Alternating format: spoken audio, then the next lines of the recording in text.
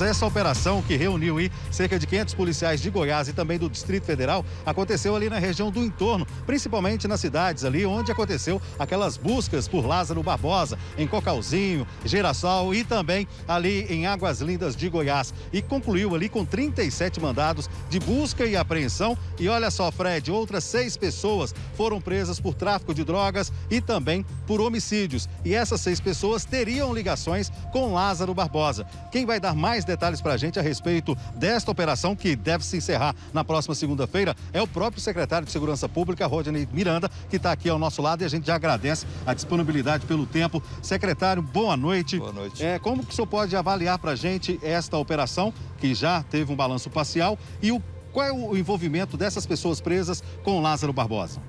É, nós, nós estamos fazendo uma operação para deixar totalmente tranquila novamente aquela região ali de pessoas trabalhadoras, de pessoas honestas. Então cumprimos mandado de busca, vamos fazer algumas inserções. Já estamos trabalhando desde segunda-feira com a equipe de inteligência e com o cumprimento de alguns mandados pontuais. Vamos estender até segunda-feira que vem.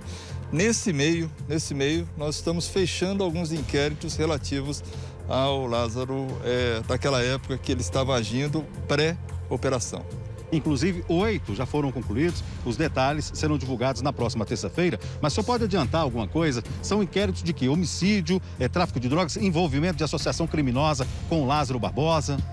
Basicamente, homicídios, é, latrocínios, alguma coisa relacionada ao tráfico de drogas e também estamos fechando a questão da organização criminosa e daqueles que deram sustentação, deram guarita para ele enquanto ele esteve foragido. Por, por, coincidência, a operação começou, aliás, né, esse balanço parcial, foi justamente quando o fazendeiro de 74 anos, o Emi, foi solto pela justiça depois de um habeas corpus lá, né? Uma grande coincidência, porque ele está solto, mas é apontado como um do, uma das pessoas que ajudaram na fuga de Lázaro. Ele não está solto, ele está em prisão domiciliar.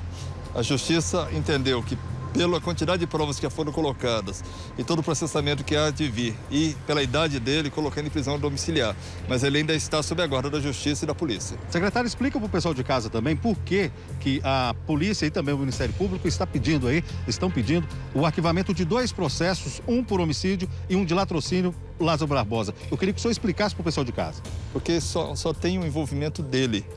Como ele é, foi, foi morto, não há como continuar esse processo. Então não há é, resquício, não há, não há nenhuma evidência de que possa ter é, envolvimento de outra pessoa senão ele. Agora eu queria que o senhor falasse mais a respeito dessa operação em Anguera, que veio justamente aí para unir as duas forças policiais de Brasília e também aqui de Goiás, né?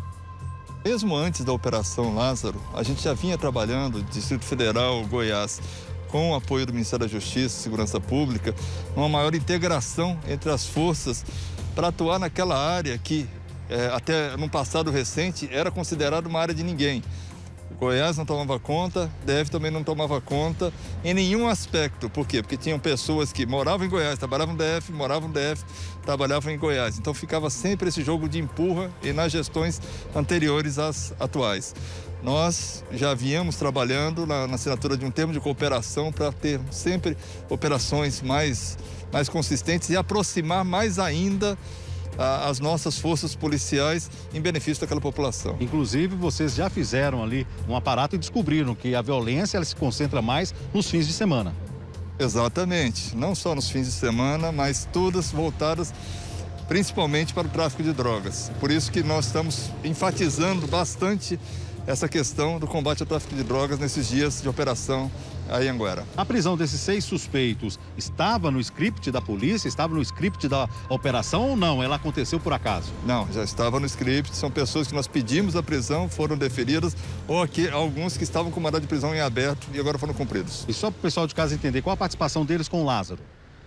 Estamos ainda avaliando, estamos ainda avaliando. Cumprimos alguns mandados de busca hoje específicos para, para a Operação Lázaro. Então temos que analisar essas provas e a partir da análise dessas provas a gente poder colocar para a imprensa e principalmente para a justiça é, o envolvimento de todos esses presos e outros que estão suspeitando nessa questão do, do, tempo que ele ficou foragido e também no cometimento de, de crimes antes da, da, da, nossa operação de captura. Secretário, a gente sabe que o Lázaro está envolvido em mais de 30 crimes, né? Que ele está, pode estar envolvido, inclusive fora do estado. O senhor tem uma estimativa de quando é, o trabalho vai ser encerrado ou não? Porque prazos vocês devem pedir em alguns processos, né? Exatamente, mas eu acho que é até terça-feira, que é a data que nós estamos marcando, terça-feira da próxima semana, a gente vai ter condição de fazer um balanço, não final, mas bem adiantado de tudo aquilo que nós apuramos em crimes cometidos em Goiás, crimes cometidos no DF e se tiver algum ainda crime em aberto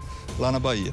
Então o senhor acredita que até terça praticamente todos estarão é, é, solucionados? Acredito que sim, até porque nós tínhamos a, nossa nosso planejamento era de 30 dias após o fim da operação, que está se completando agora. Isso quer dizer que mais pessoas podem ser presas por ter participado dos crimes ou também da fuga do Lázaro? Não tenho dúvida, não tenho dúvida. Nosso, nosso objetivo também é esse, além de resgatar a tranquilidade total daquela, daquela região. Secretário, muito obrigado pela participação aqui e fica aí também, né, os nossos parabéns pela essa união novamente do trabalho das polícias, né, em conjunto e não podemos esquecer também da Polícia Federal e da Rodoviária Federal. Exatamente, são a união das forças de segurança de Goiás, do DF e as federais, Polícia Rodoviária Federal, Polícia Federal, trabalharam também com a gente, a Receita Federal, trabalharam também com a gente, a ABIN, enfim, foi uma, uma união de esforços num objetivo comum, que era não deixar, primeiro, que aquele sujeito machucasse mais ninguém, nós conseguimos total, pleno êxito nisso e depois capturá-lo. Tentamos capturá-lo com vida, mas não foi possível graças à ação dele. Ok, secretário, obrigado pela participação. Tá aí, Fred, só para reforçar então, durante esta operação que acontece desde segunda-feira e vai finalizar na próxima segunda-feira, já foram cumpridos até agora 37 mandados de busca e apreensão e seis pessoas foram presas. Elas têm envolvimento com homicídio e também tráfico de drogas e podem também ter ajudado na fuga do Lázaro Barbosa durante aqueles 20 dias de caça na região ali de Girassol, Cocalzinho e também de Águas Lindas de Goiás.